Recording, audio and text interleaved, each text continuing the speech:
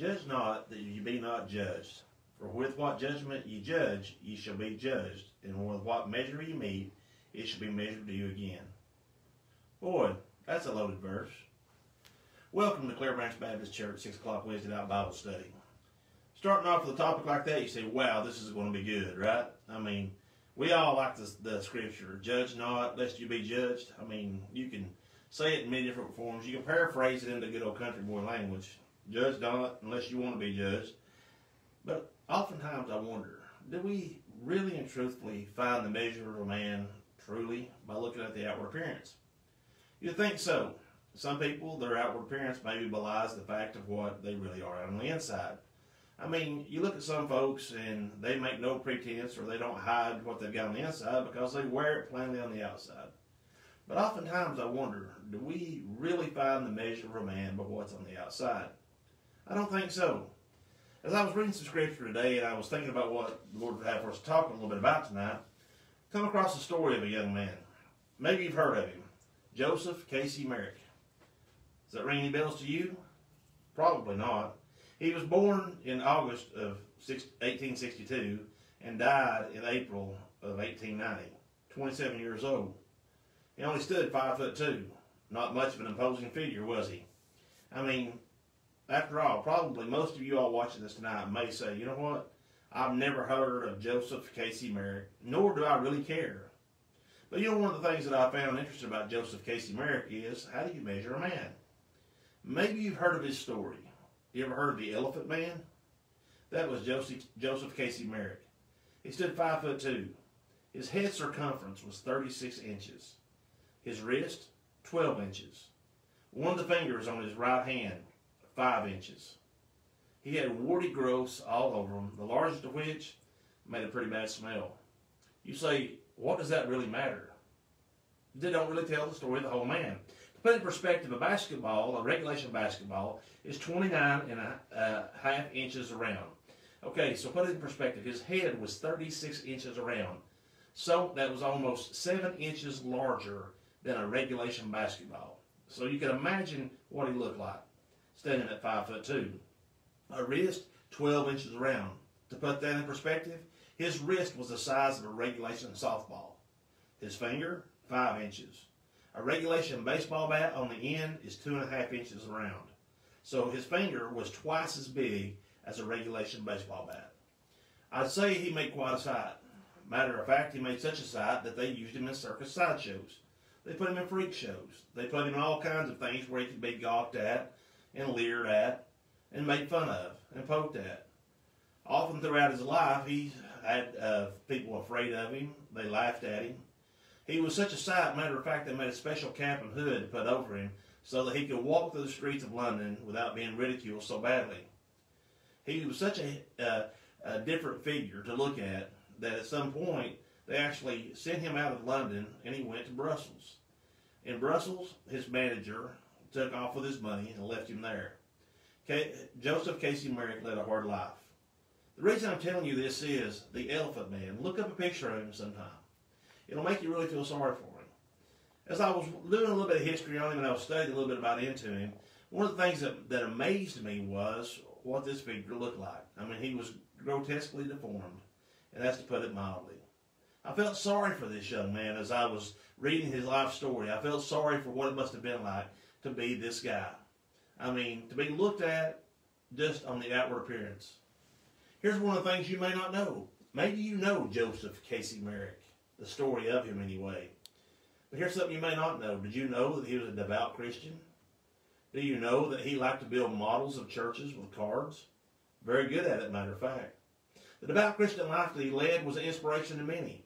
But I bet you a lot of people never really got past the outward appearance. See, I think that's what happens a lot of times. We never get past the outward appearance. We see someone and maybe they don't look the part or they don't look like we think they should. The images that we form in our mind of what a Christian looks like or what a Christian should maybe uh, put the image of, maybe it doesn't quite fit the person we're looking at. I know I've been guilty of it before. I've been guilty of looking at people and seeing their seeing them in their worst times and going ahead and judging them on their worst time without ever seeing them on their best. You know, as I get older, maybe a little wiser, Some of the best friends that I've got, some of the most dependable and loyal friends that I've got, are people who I would never have looked at and thought myself that you can count on these people. But you know what? That's one of the great blessings that God has allowed me to live long enough to be able to see the, the folly of my early life thinking. That it's not about the appearance. I mean, we've all seen them, right? We've seen the polished uh, churchgoers, the ones that know how to dress, the ones that have every hair in place, you know, the ones that know how to pray just right, the ones that know how to recite scripture. Maybe their voices uh, carry up into the heavens and they can hit every note just right in the songbook. But it never does really tell you what's on the inside. And then there's those others, right?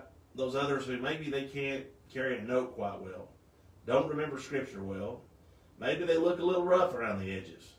But you know what I found? I found that the measure of a man is not by what's on the outside. Just like Joseph Casey Merrick, five foot two, with a head circumference of 36 inches. A grotesque figure to look at, but he had something on the inside. Everybody that came to know him admired him. Everybody that came to know him loved him. He was greatly loved by the nurses that cared for him, the doctors that cared for him. Even the Princess of Wales came to know him and would send him a Christmas card every year because she so admired his courage, his determination, and his warm heart. You see, that's what we should all strive for. We should all strive to have a heart that people can look past the outside and see the inside. Judging not, lest we be judged. I wonder sometimes when we judge others by their appearance, or when we judge others by the way that maybe we've seen them in the past, that we neglect to find out that there's a really great person, maybe even a really great godly person on the inside that we just look past because they don't really look the part. You know what? I understand a little more each day why Jesus chose to hang out with the sinners and the publicans more so than the saints. Because they were real, and what they felt was real, and what they practiced was real. It wasn't hypocritical in any way, they just was who they were. Rough edges and all. But they had a heart for Jesus.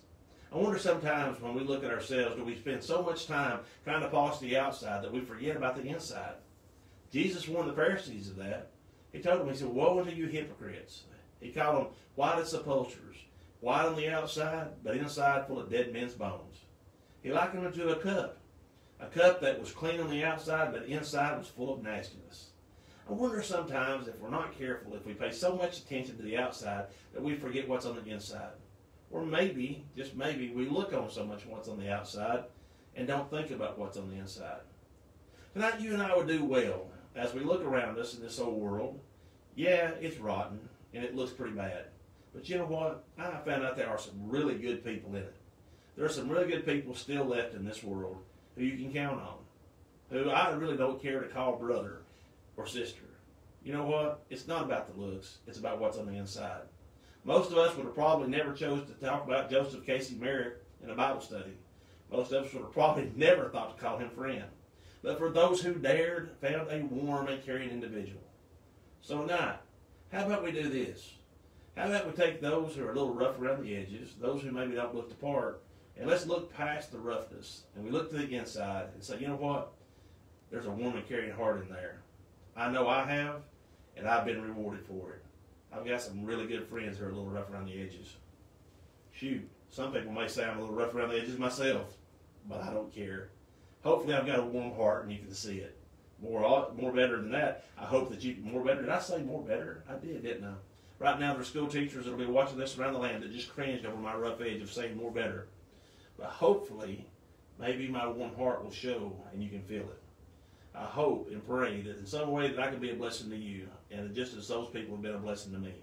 So tonight, judge not, lest you be judged.